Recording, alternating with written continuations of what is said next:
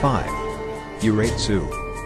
By Kyosai Kawanabe. This picture is also drawn by Kyosai Kawanabe. The ghost in this picture has typical features of Japanese ghost which are wearing white kimono dress and disappeared legs. It is saying that the regretful face of the ghost is the face of Kyosai's dying wife. It is indicating the wife seemed not to be able to accept her fate.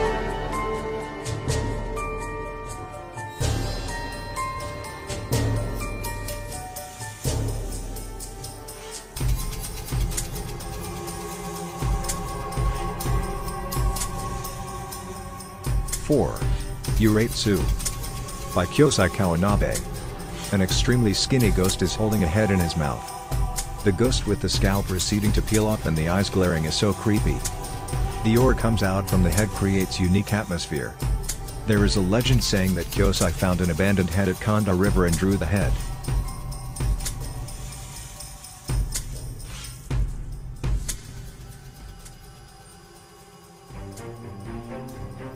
3.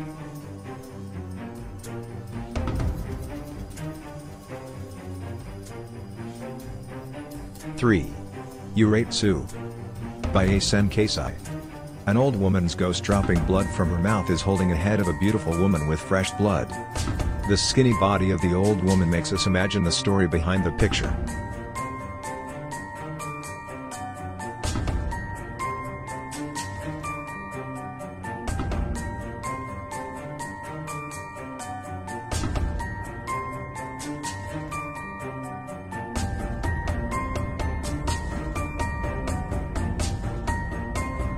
2. Yanagishita Yureizu. By Goshun. And Geke Matsumura.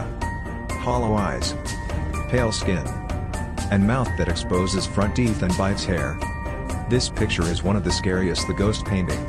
The heavy atmosphere surrounding the picture makes the picture more horrifying.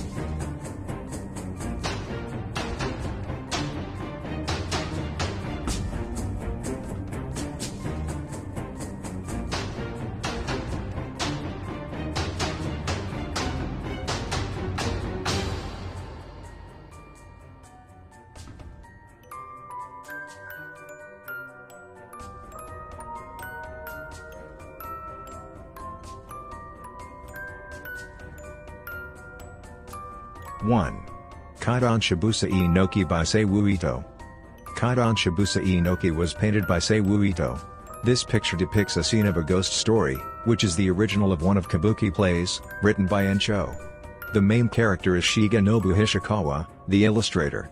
He was killed by his pupil who fell in love with Shigenobu's beautiful wife. When Shigenobu's baby was thrown into the waterfalls, Shigenobu's ghost came out from the waterfalls and he was carrying his baby.